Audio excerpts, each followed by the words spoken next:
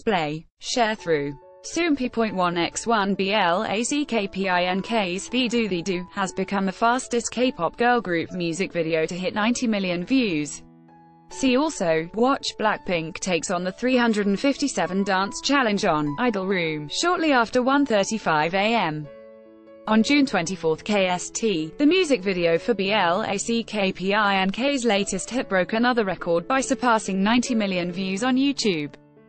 DDU-DU DDU-DU took just under 8 days and 8 hours to reach the milestone, making it the fastest K-pop girl group music video in history to do so. Soompi. Display, News. English .300x250, BTF Soompi.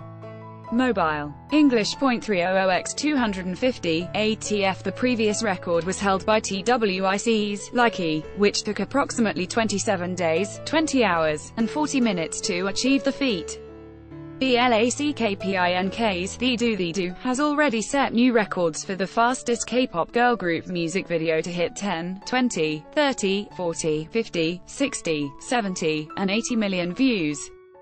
It also broke the record for the most views achieved in 24 hours by any K-pop girl group music video.